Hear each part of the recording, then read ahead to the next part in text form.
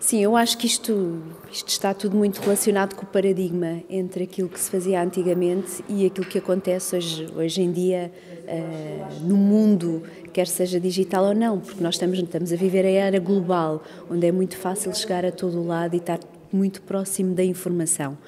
Uh, acho que os nossos empresários, mesmo que não tenham essa atitude, como hoje nós falávamos aqui na conferência, ter atitude digital, já perceberam que o paradigma está a mudar e que os seus novos profissionais ou os profissionais uh, que trabalham dentro da área do marketing já não há grande diferenciação entre o tradicional e o digital ou entre o, online uh, e, o, e o offline. Isto quer dizer que, embora eles possam, os empresários possam não ter esta atitude digital, eh, todos os que o rodeiam, com certeza que os rodeiam, com certeza têm que ter esta atitude digital e de perceber que esse é o caminho, que não é uma tendência, não é uma onda que vamos surfar, não, é algo que já está a acontecer e que em Portugal eh, é prioritário que assim seja, tanto para a nossa economia social, a política, como também para todos os consumidores e as pessoas como um todo, para se relacionarem.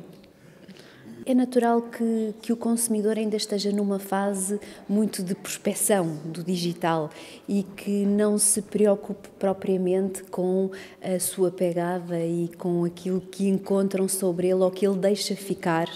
nos, nos meios digitais. Mas eh, também acredito e sei que cada vez há maior preocupação em que os outros não saibam onde nós estamos, em preservarmos a nossa privacidade. Portanto, eu acredito que também com a nova legislação que chega já em 2018, que eh, tenhamos um consumidor mais informado, eh, que saiba melhor eh, aquilo,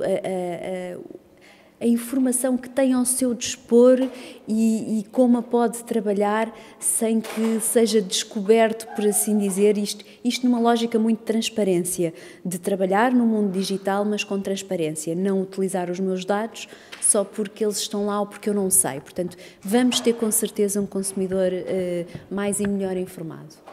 como é que se gera aqui uh, aquilo que são os conteúdos televisivos e aquilo que se passa com o mundo digital. Uh,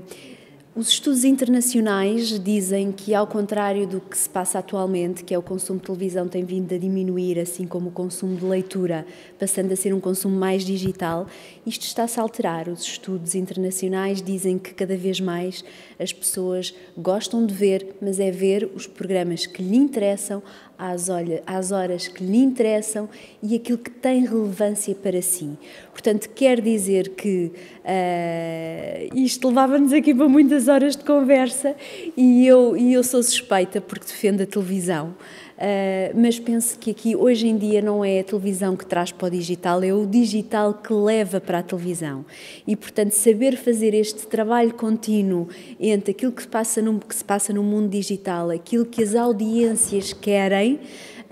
é um desafio muito interessante e acho que pode renovar uh, as nossas televisões.